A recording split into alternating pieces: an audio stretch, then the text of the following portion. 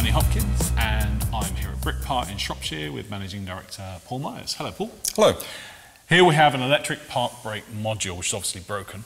There's another video in this series which shows you how to replace that module as a single unit, but Brit Britpart have just come up with a clever solution, which means you don't have to do that, haven't they, Paul? Correct, yes. On the uh, Discovery 3, 4 and Range Rover Sport, mm -hmm. the uh, normal failure mode on these is that these plastic gears strip uh, when the cable sees. Instead of replacing the whole module, um, we've come up with a kit of the gears and the hardware so that you can just replace the, the broken components. Brilliant. Okay, well, let's go over to the workshop and uh, see what Martin can make of this and uh, how he can do it himself. Okay, let's have a look at the bits you get in this rebuild kit. First of all, a set of gears, which are the main failure points in the park brake module. You also get two rubber mounting bushes, which almost always break when you remove the module from the car. And finally, a new set of Torx screws because the originals are probably going to be rusty and they might round out. So this is the module as you will have removed it from the Discovery. The first thing to do is to lay it down and undo the original screws that hold the front plate on. And for that you need a T20 Torx. As I said before, it's likely that the screws are going to be quite rusty because this module spent its whole life underneath the Discovery getting blasted with mud and salt and all sorts. So if they need it, just clear the heads out, wire brush any debris out so that the T20 bit goes all the way in. Once you've got all the screws undone, it might take a bit of effort to just prise this front plate off because it's stuck on with a lot of silicon sealant to stop water getting inside the module. So with that out of the way, we can see the inner workings. First thing we need to do is release the cables. So they've got these big plastic knurled nut things on the side. If you undo each of those, they normally come undone by hand. One cable's held in with a quick release clip, and the other one we need to unthread because it's threaded into the end of the pull. So if we start by undoing these, just move each cable to each side.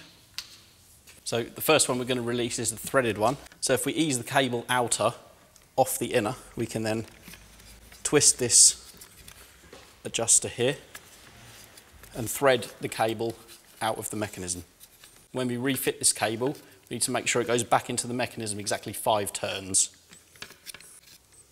It's also a left-handed thread, so you need to turn it clockwise to release it. So that's that cable released. You can pop that aside move to the next one. To release this cable, we need to slide the mechanism over and there's a little plastic collet that holds the cable to the end of the mechanism. So we just use a little pick to depress the clip. Can you just tilt that towards me? Yeah. So just use a pick to depress the clip.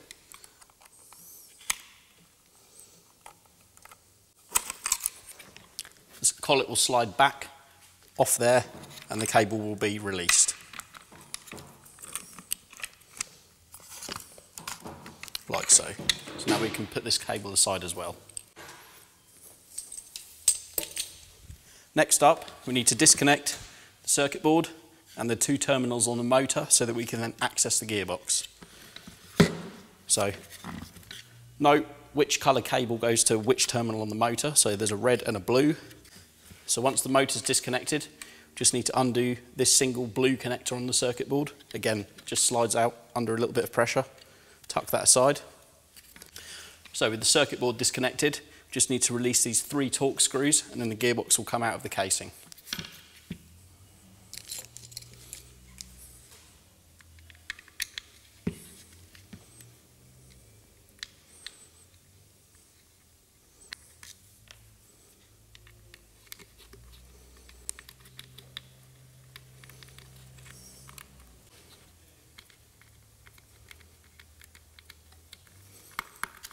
Okay, three screws are out. So now the motor and gearbox assembly will lift out along with the cable pull. So just once that's released, slide the gearbox complete with the motor off the end of the pull and leave that inside the casing. Retrieve the two screws. And now we can take this apart and replace the gears. So the gearbox is held together with more Torx screws, four in total. So just take our driver again, release them.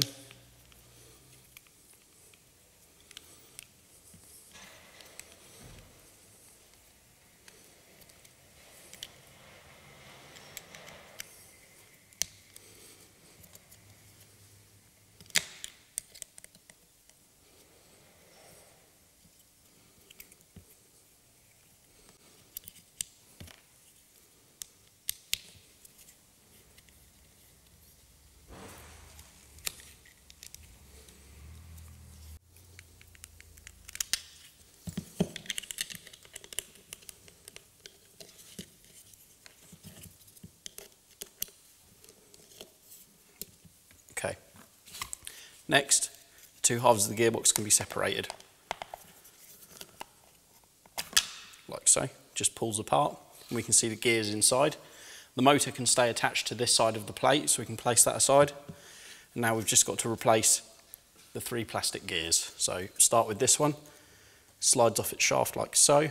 And this has got a clutch mechanism built in which we need to transfer over to the new gears. So we'll do that one last.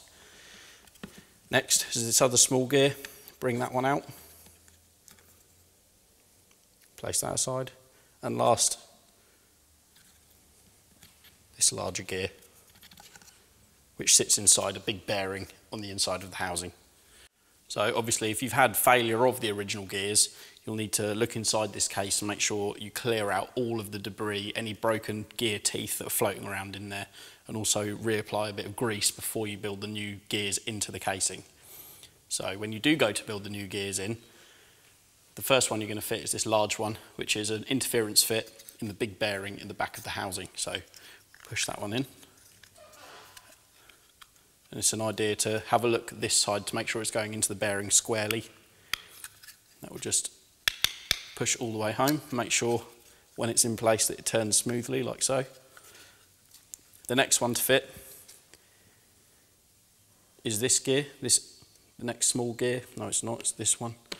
The next gear to fit is this small gear. This just sits into place in this corner. And you'll notice that the pin that that gear spins on stays on this half of the gearbox housing. So it will just float around until you go to refit this plate. Finally, okay, so the final gear has this slipper clutch mechanism built in, which comprises a spring, a washer and an E-clip, and we need to swap those items over to the new gear before we fit that to the case. Now, you can take your bag that your parts came in, lay that over the top of the gear, and then use a screwdriver to pop the E-clip off, because if you don't do that, there's a real possibility when you release it, parts will go everywhere and you'll never find them ever again. So with that released, we can remove the E-clip, the washer and the spring, get rid of that old gear, get the new gear, and then it's just obviously a case of stacking them back on this gear in the opposite direction they came off. So when you build up the new gear, spring goes on first, and then the washer, and you need to compress that spring while you get the E-clip in place. So push it down by hand, get the E-clip, push it into its ridge on the gear, and then you need a pair of pliers just to clip that into place. It's a bit fiddly, but there we go. You hear the E-clip clip into place. Make sure it's properly home, and now that gear is ready to go back into the gearbox. The gear goes into the gearbox with the slipper clutch end pointing downwards. So take that last gear, push it into its pin all the way down, make sure it turns nicely, and now we can refit the gearbox end cover. Again, this pin has to pass through the second gear that we fitted to the gearbox, so it can be a bit fiddly to line up. So just take the gearbox cover like that, give it a bit of a wiggle, make sure everything aligns, and it should slide into place like that. And the edges of the casing should sit flush if everything's in the right place. And then it's just a case of putting the four screws back in to fix it all together.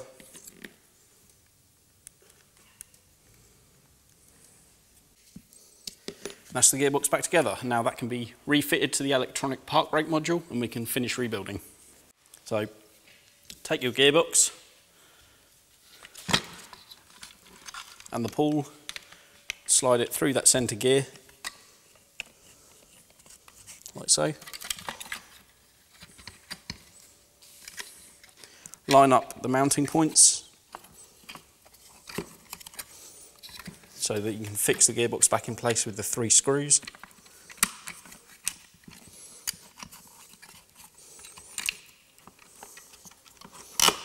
Like so. Should all fit in there nicely.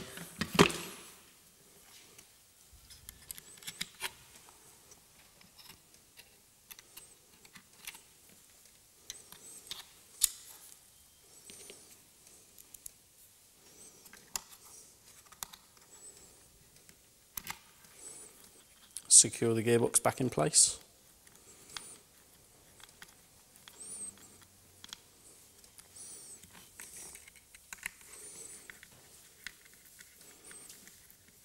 Okay. Once those three screws are nipped up, you can then reconnect the circuit board just with the single blue connector, like that, and clip the spade connectors back onto the motor terminals.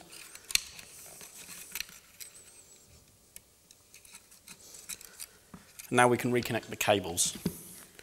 So take the quick release cable first, feed it in through the side of the park brake module, and you'll notice there's a small peg on this plastic disc that must slot in. Once you've got it in place, take that nut and loosely start it because we still need a bit of room to maneuver this into place. So pick up the quick release end,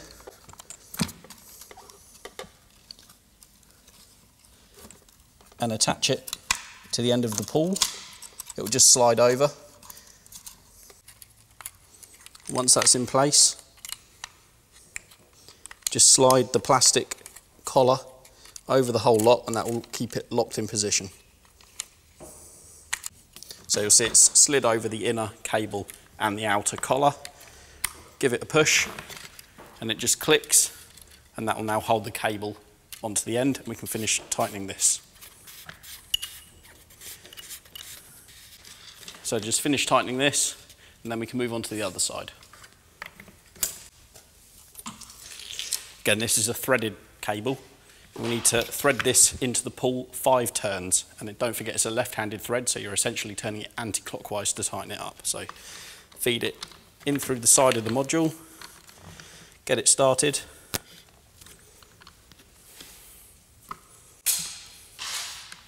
And then turn that one, two, three, four, five turns. Once that's latched in, take the plastic collar, push it into the side of the park brake module, making sure the pin lines up like so, should sit flush, and then take this wheel, hand tighten it, like that. Now we can put a bead of silicone around the edge of the module to stop any water getting in and refit the cover. So just use some normal, this is black silicone. Just put a thin bead around the edge just to keep any water out.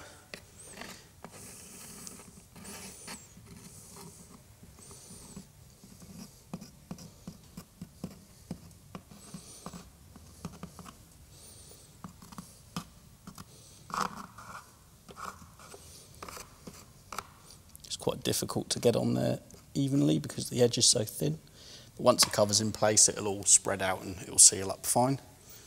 So just spread the silicone around a little bit if you need to to make sure all the edges of the module are covered. Once they've got a thin bead, you can take the top cover again. Just offer it up into place. Make sure all the screw holes line up. Push it down and now we can use our new screws to fix that into place permanently.